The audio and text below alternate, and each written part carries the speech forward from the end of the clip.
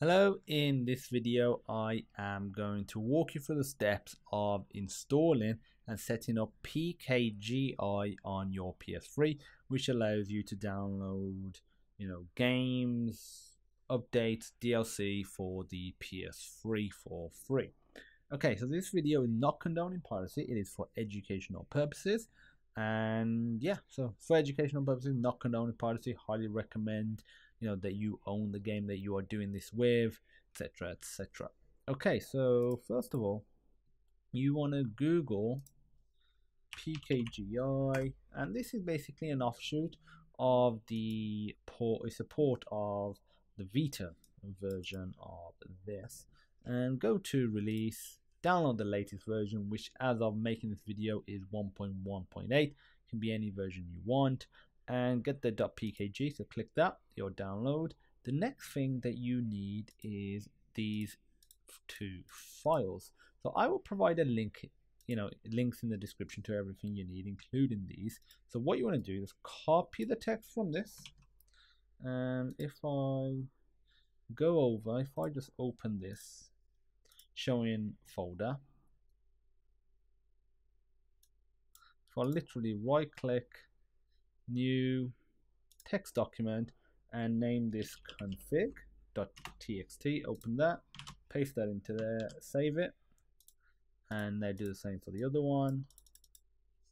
It's just that one line in this copy that and go here right click new text document and name this one db db format.txt paste that there Make sure there's no new line there at the end and click save. Okay, so we're almost ready to go. Next thing is you need some sort of USB device that you can plug into your PS3 and copy these files over. You could potentially use an FTP client if you've got that set up. Also, this obviously assumes that you've hacked your PS3. If you are installing games on an external hard drive, you've already got that set up you could always connect that up to your computer and then plug that back into your PS3. I've got a USB stick.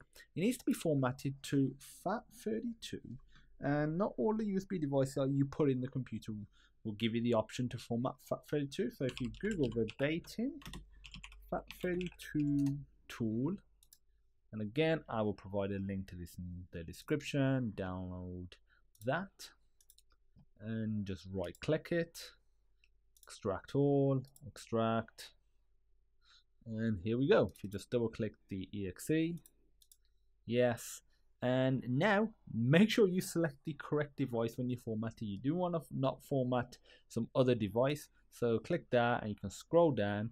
And for me, it has not appeared for me. Let me just put my USB stick back in. Okay, so there's my USB stick. And if I scroll down, let me actually reopen this. Scroll down, and there we go. You will select your USB stick. You can name it if you want to.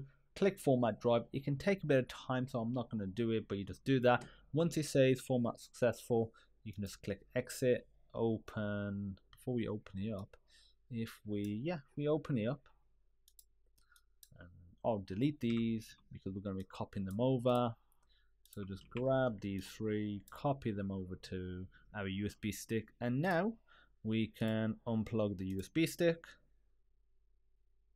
Once this window disappears it has been successfully unplugged. It is saying that it is in a use which is strange because apart from the fact that it's open it is not Okay, so that's that unplugged. We're going to switch over to the PS3 now and we're going to install pkgi.txt and actually get it all set up. So I'll see you there. Okay, now we are on the PS3 side of things. We are going to plug in the where the camera there we go. The USB stick. So pretty simple. Just whack it in of your is free.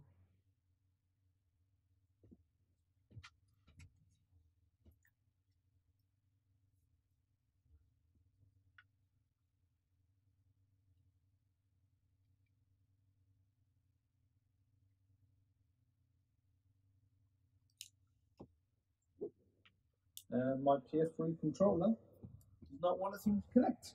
Let me just reconnect this controller up. Bear with me. Oh. No. Connected. Okay, so what you want, I'll delete this. I already had it installed, so let me delete it. So I can do it from scratch. And what you want to do is go to Package Manager, go to Install Package Files, go to Standard, which is the root of your storage device, and if I scroll down. I've got two because the first set of packages are from my hard drive, and the second one, this one, is from the USB stick. So I'll click that, focus in a bit, and there we go. Okay, so now that we've installed that, it'll here, it won't work yet there's a bit of configuration that's still needed. So if we go over to multi-manager, MMCM, or you can use some other sort of tool, we basically need to be able to access the folders and file on our USB stick, copy them over into a particular folder on the internal hard drive. So once this launches up, depending on what you know interface you have, you, it might look like this. So to change it, you just press start and select, and there we go. Let me close these so it's looking tabular rather for us. So it'll look like this. Go to PS3 root. And I'll just copy this about, I'll just move this over here. And you want to go over to one of the USB sticks. For me, I know it's USB 001. If you've got uh, multiple, check which one it is, go into there, and you want to press X. You just use the right analog stick to move the mouse. Press X on the other one. Now press circle. Now you can press X to, you know, copy it. If you have it, you know, reverse depending on what region you are in, you might it might be X to get the menu up and circle to enter. Now that you copied that, we can close this down, go to PS3 root again, go to dev underscore HDD0, go to game, and you need to find a folder that's it's going to be named probably a little bit different depending on your system. It'll be something like this NP00PKGI. The number after it might vary, so just double click X on that and then go to USR dir, the user directory. In here, press circle, click X to paste it, go to yes, focus in a bit, and that's it. You know, we're all done. So if I press the PlayStation button, quit out of this,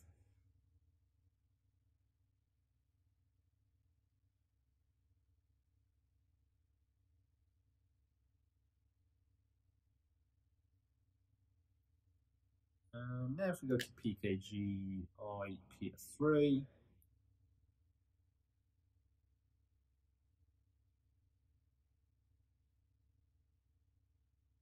that happens, that's fine. And if you say something like this error, that is fine. As long as the menu on the right appears, that's all good. Just go down using the arrows to refresh, press X. You start refreshing the database, you make sure you are connected to the internet for this. This is downloading it all the internet and now you're good to go. Press triangle, you can you sort by title, region, name, size. You can choose what content to display. At the moment, it's displaying all content. You can choose games only, DLCs, themes, avatars, demos. If you have configured your config file for managers, emulators, and apps, they will appear as well. I'll just do games. You can choose which regions to show. You can do you know, direct download or background download. I prefer the direct download just so I know I can see it easily. You can choose to show updates, etc., etc. You can click refresh if you want to get the latest version. Okay, now if we press circle, you can get it up with triangle at any time. If we go down, you'll be, you know, you can find any game that you want.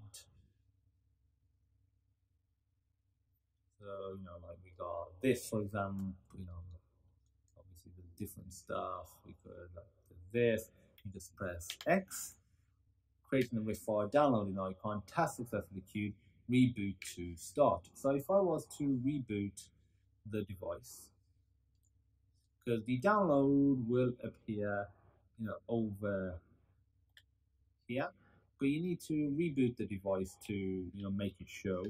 That's just a little caveat at the moment. It's, it's a bit more elegant on the PS Vita, but it still works, which is, you know, is all good stuff. So just wait for the, the PS3 to launch back up. So I turned it off, I'm turning it back on now. You're not hearing any sound from the PS3 because I've you know muted it. No. We go to network, go to download management, and there we go. The game is right there that we whatever we've set to download. So if you press triangle, or if you just press X on it, you can see the status. So it's downloading it. It's 3% downloading. And once it's downloaded, it will appear here. You can press X on it and install it. So that's it. That's how you set up PKGI on the PS3. If you have any questions, feel free to pop me a message. And as usual, this video does not condone piracy. It is for educational purposes. You can check out our Discord group. There'll be a link in the description for more information and more help. And I look forward to seeing you the next.